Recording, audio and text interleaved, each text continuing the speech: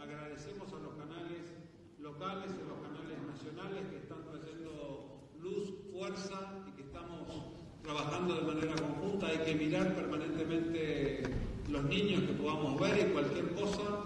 Estamos a disposición y atentos. No descartamos absolutamente nada en la investigación. Absolutamente nada.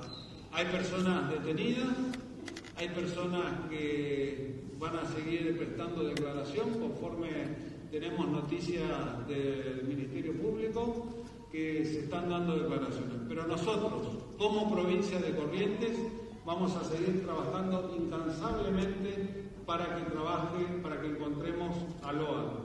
He llamado a la madre del menor, y ahora lo digo públicamente, vamos a hacer todo lo posible para tratar de dar con el menor y poner nuestra, nuestro sentimiento como padres que, que somos para que esto se esclarezca.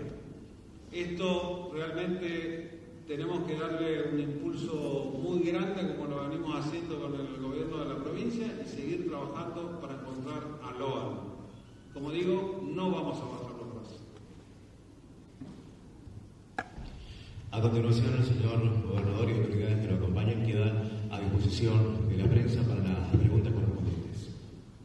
Acá, gobernador Raúl Acevedo para Radio 2. Usted mencionó una posibilidad, una hipótesis cierta de trata.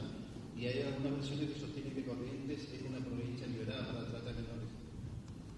Mire, nosotros, yo no quiero hablar de hipótesis en general, porque todo lo que sea hipótesis, cualquiera fuera una hipótesis, nosotros vamos a colaborar en esa investigación y estamos trabajando con nuestra policía. Todas las hipótesis las vamos a trabajar.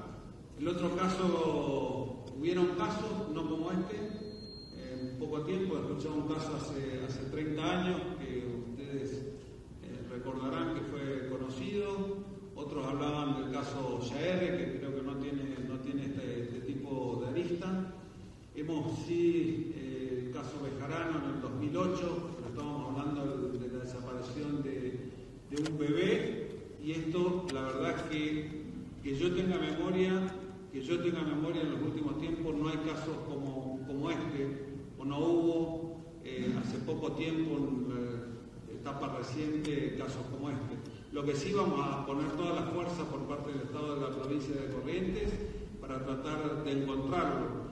Pero quiero, permítame agradecer al gobernador de la provincia del Chaco, Alejandro Ordero, que se ha puesto a disposición inmediatamente, que estamos haciendo un gran trabajo con la policía de la provincia del Chaco, eh, logrando eh, varios allanamientos en la provincia del Chaco con resultados negativos, pero, pero agradecer la disposición de la provincia del Chaco, eh, la provincia de Santa Fe, que también he hablado hoy en horas de la mañana con el gobernador este, Maximiliano Cuyaro, supuesto seguir trabajando en conjunto y agradecer a los gobernadores que llamaron, que están a disposición también sus policías. Buenos días, gobernador. Daniel Brite de Radio Corrientes. Quería preguntarle, ya es inminente el paso a la órbita federal, teniendo en cuenta que la hipótesis maneja de trata de personas.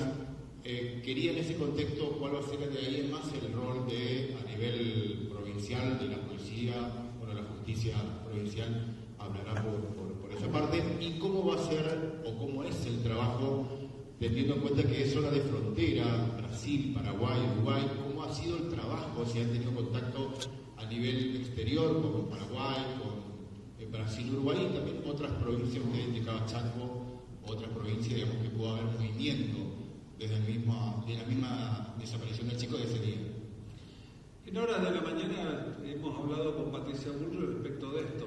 Pase lo que pase, como desde el primer momento las fuerzas federales estuvieron a disposición y por más de que pase a la esfera federal la investigación, nosotros seguiremos colaborando de igual forma y con igual fuerza a disposición de las justicias federales para tener otro modo de, de investigación. Las alertas fueron dadas, la alerta Sofía fue dada y estamos, estamos atentos. Por supuesto que la investigación eh, continúa y vamos a seguir haciéndolo con fuerza que es lo que tenemos. Desde el primer momento, el ministro de Seguridad, el jefe de policía estuvieron en el lugar y vamos a seguir trabajando para poder tratar de, encontrar al menor.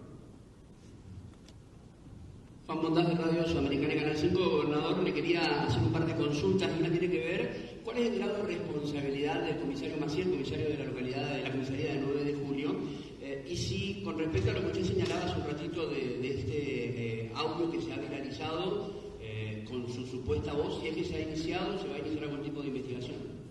No, simplemente nosotros vamos a poner todo el peso de la ley para aquellos que estén involucrados. No importa cuál sea el cargo, grado que pueda tener. El que tiene una responsabilidad la tiene que pagar. Y eso es lo que vamos a estar haciendo, sea comisario, sea fiscal, sea juez, sea político, no sea político, haga lo que haga, nosotros tenemos que hacerle caer a esa persona todo el peso de la ley y en eso estamos empeñado. El otro, no voy a hacer una, una, denuncia penal respecto al tema, pero sí quiero informar a la comunidad que acá hay inescrupulosos que pretenden sacar ventaja política respecto al tema y nosotros estamos abocados a que Loan aparezca y tenemos la energía puesta en que Loan aparezca. Y es toda la fuerza del Estado de la provincia de Corrientes buscándolo y vamos a hacer lo que tengamos que hacer para encontrarlo. De esta manera damos por finalizada esta conferencia de prensa, agradeciendo la presencia de todos ustedes. Muy buenos días.